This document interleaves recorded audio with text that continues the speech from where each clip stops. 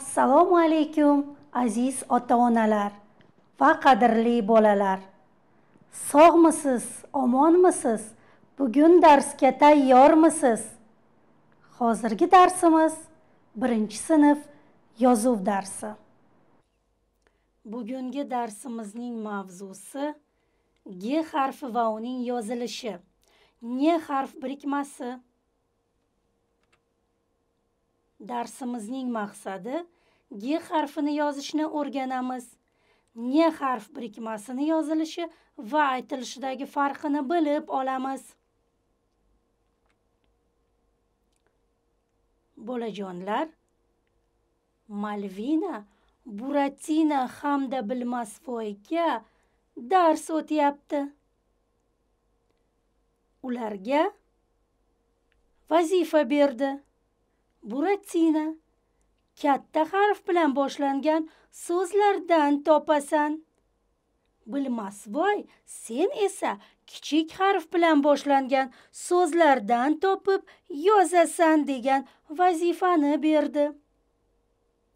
Buratina hamda bilmasvoy o'ylanib so'zlarni topib yozishdi.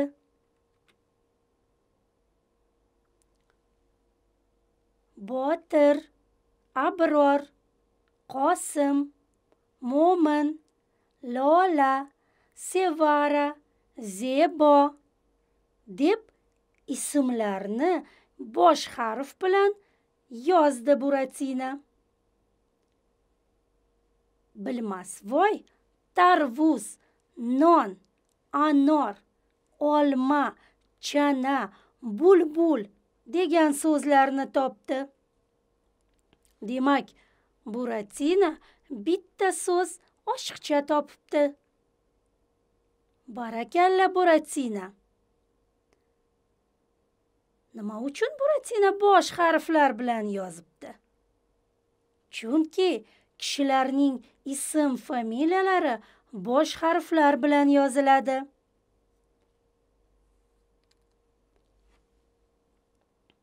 Buratinaga malvina besh baho qo'ydi. Sen ham bilmasvoy ko'proq so'zlardan topib yozgin deb vazifa berdi. Bolajonlar rasmda nimani ko'ryapsiz? Gilosni? Gilos so'zi qaysi tovush bilan boshlanyapti? Juda yaxshi gilos so'zi g tovushi bilan boshlanyapti. Demak bugun sizlar bilan g harfini yozishni o'rganamiz. G tovushiga so'zlar topib ularni bo'g'inlarga ajratib o'qiymiz. Birinchi so'zimiz gilos ikki bo'g'inli so'z. Birinchi bo'g'inimizda i unlisi ikkinchi bo'g'inimizda o unlisi bor. Nima uchun ikki bo'g'inli so'z deyapmiz? Chunki bu so'zimizda ikki unli bor. Gul bir bo'g'inli so'z. Chunki bu so'zimizda bitta o'nli bor. Keyingi so'zimizni o'qiymiz. Gul don. Ikki bo'g'inli so'z. Birinchi bo'g'inimizda u o'nlisi ikkinchi bo'g'inimizda o o'nlisi bor. Mana bu chiziqlar bilan ham bo'g'inlarga ajratib qo'ydik. Diqqat bilan qarang.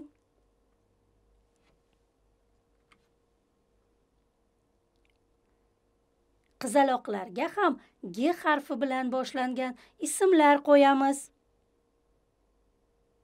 Birinchi qizimizga gulnora deb ism topdik. Ushbu so'zni ham bo'g'inga ajratib o'qiymiz. Gul no ra necha bo'g'inli so'z? Barakalla. Uch bo'g'inli so'z.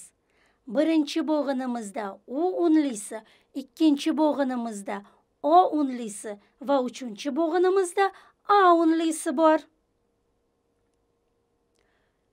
Keyingi qizalog'imizga gul no za. Uch bo'g'inli so'z birinchi bo'g'inimizda u unlisi ikkinchi bo'g'inimizda o unlisi uchinchi bo'g'inimizda a unlisi bor. Gulida. Barakalla. Uch bo'g'inli so'z. Birinchi bo'g'inimizda u unlisi ikkinchi bo'g'inimizda i unlisi va uchinchi bo'g'inimizda a unlisi bor. Yodingizdan chiqarmang. So'zimizda nechta unli bo'lsa so'zimiz shuncha bo'g'inga ajraladi.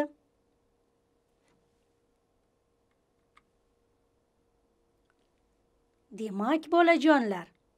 Mana bu kichik g harfining bosmacha shakli. Bu shakl bizning kitobimizda beriladi. Mana bu esa kichik g harfining yozmacha shakli. Biz bu shaklda daftarlarimizga yozamiz. Mana bu esa katta g harfining bosmacha shakli. Bu esa katta g harfining yozmacha shakli. G harfi undosh harf.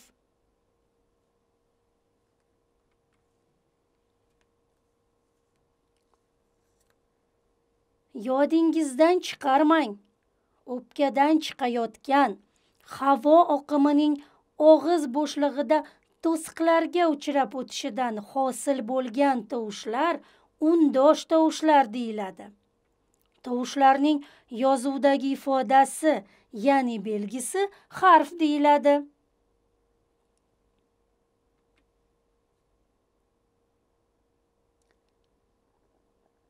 Bolajonlar n harfi bilan g harfi birgalikda kelganda n harf birikmasi hosil bo'ladi.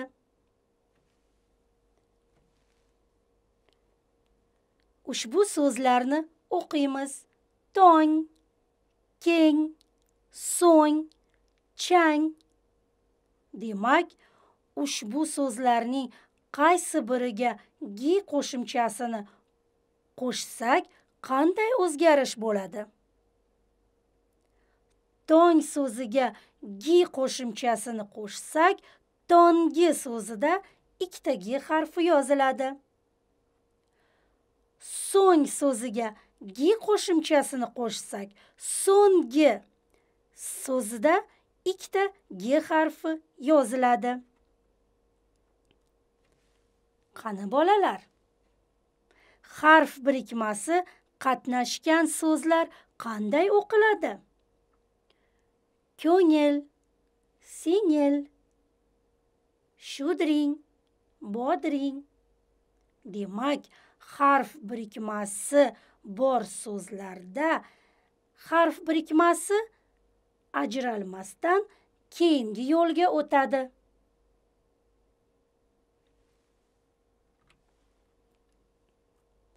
G harfi bizga nima deydi?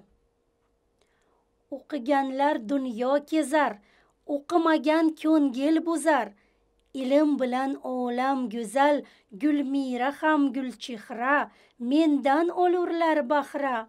Gavhar gulshod gul asal gulshan ham menla go'zal deydi g harfi. Endi bolajonlar daftar hamda ruchkalarimizni tayyorlab olamiz. G harfini yozishni boshlaymiz. Yozishdan avval to'g'ri o'tirish qoidasiga rioya qilamiz. Qaddimizni rostlab ruchkamizni o'ng qo'limizga olib g harfini yozamiz. Daftar hamda ko'zimiz oralig'idagi masofa 30 santimetr bo'lishi kerak. dam olish daqiqasini o'tkazib olamiz.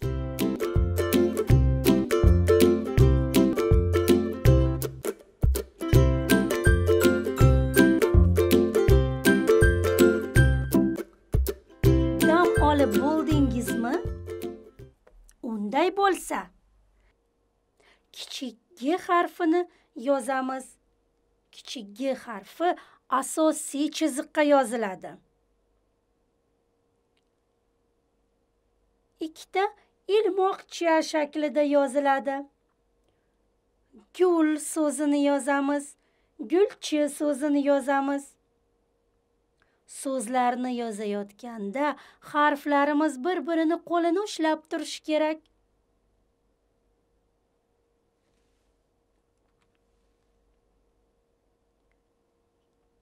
Katta g harfini yozishni davom etamiz.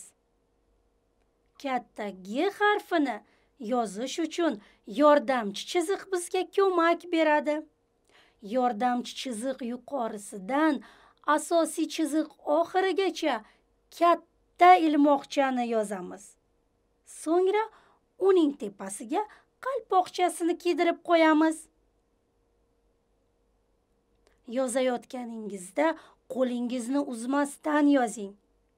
Diqqat e'tiboringizni yozuv daftaringizga qarating.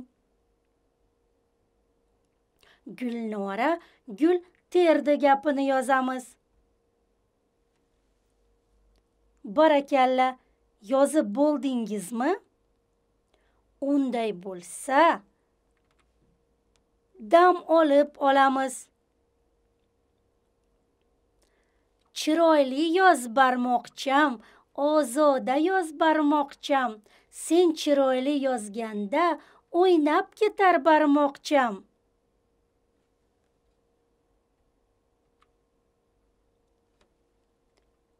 Qo'lingiz dam olib bo'lgan bo'lsa n harf birikmasini yozamiz.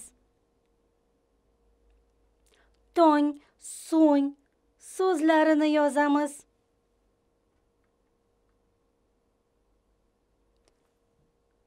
Chiroyli va ozoda qilib yozing. O'ylaymanki juda ham chiroyli yozdingiz. Endi bolajonlar aqlimizni charxlab olaylik. Buning uchun maqollarni yod olamiz. Gap bilan shoshma ish bilan shosh. Gul inson umrining bezagi. Go'zallik yuzda emas dilda. Go'zallik husnda emas mehnatda. Ushbu maqollarni keyingi darsimizga yod oling.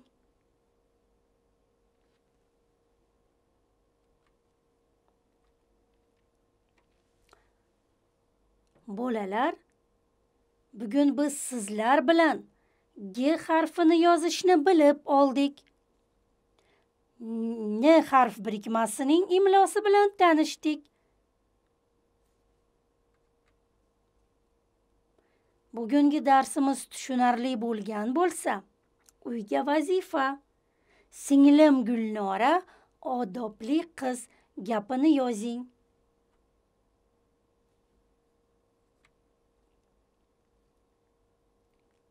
Tozalik sog'liq garovi.